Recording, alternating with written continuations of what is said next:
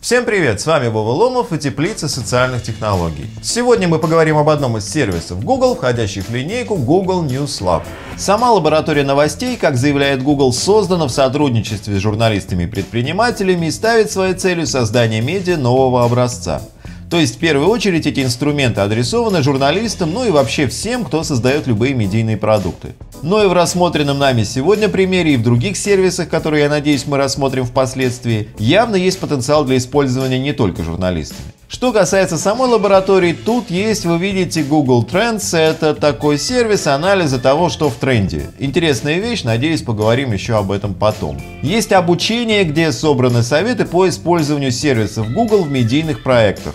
Тоже много всего и все интересное. Но обо всем я, естественно, не смогу рассказать, поэтому сегодня мы поговорим об одном из инструментов, который называется Google Public Data Explorer. Это инструмент, который дает доступ к статистике по совершенно различным направлениям. Я бы сказал по всем, но потом. Сейчас там много баз данных, но не все. Я надеюсь, количество их будет расти, и со временем охватит все сферы жизни и смерти человека прямоходящего. Но хватит слов, давайте уже посмотрим, что это. Кстати, в News Lab я не нашел прямой ссылки на сервис, и проще всего искать сервис через поисковик. Ну или забивайте в адресной строке google.com public data. И вот мы попадаем на страницу, где собраны базы статистических данных по разным направлениям. На русском, видите, их не так много, всего 6. Можно выбрать другой язык, например, английский, и тут уже видно явное многообразие, потому что у них все не так, как у нас. Они люди отсталые, и им нужны всякие циферки. А что у нас? У нас, например, есть показатели мирового развития по данным Всемирного банка. За этой невзрачной ссылкой скрываются бездны всего. Идем.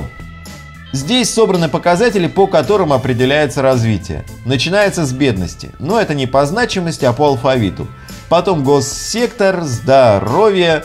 Видите, каждая вкладка содержит кучу критериев, по которым определяется понятие. Вернемся к бедности. Самое простое и понятное – глубина бедности. Здесь можно выбрать регион, но сначала нужно определить границу бедности 2 доллара в день на человека. Это получается 60 долларов в месяц. На мой взгляд, нереально. Даже по сегодняшнему курсу это 4000 рублей. Я за квартиру плачу 6. Но посмотрим. Выбираем страны. Беларусь. Вау. Армения. Еще круче. Ну и так далее. А, о, Россия. Россия, кстати, ничего так. Ну и еще чего-нибудь повыбираем. Вот такие получаются кривые. Можно поменять представление. Например, гистограмма. Или карта. Можно выбрать шарики. Шарики смешные, не так страшно. Ведь разговор идет о бедности так-то.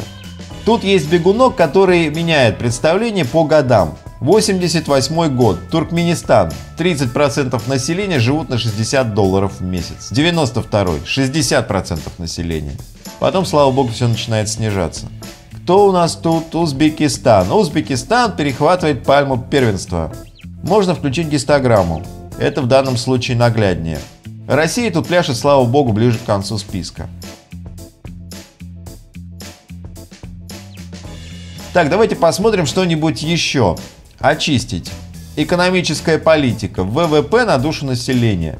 Тут, кстати, есть такая особенность, э, по крайней мере в Chrome. Нужно еще и обновить страницу. Вот, кто у нас тут в передовиках? Люксембург.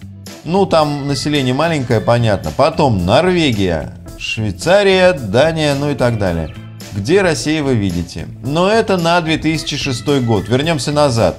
Тут, наверное, просто не было данных по ВВП еще. Примерно на 90-й год появляется большинство стран. Россия где-то в середине и начинает свое стремительное падение. И вот они, тучные нулевые. Сейчас их представляют как период благоденствия. Но ВВП-то не меняется. Литва вот мечется туда-сюда, а мы плотно сидим на своем месте. Что есть еще? А, тут есть небольшие настройки по каждому представлению и возможность расшарить.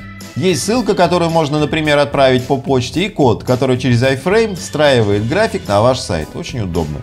По-моему, отличная вещь и явно может пригодиться не только журналистам. Все, любите друг друга, если изучаете какой-то предмет, используйте цифры. Они бездушные, но точные. Подписывайтесь на канал, оставляйте вопросы в комментариях к этому видео и пишите нам о том, что еще вы хотели бы узнать в теплице социальных технологий.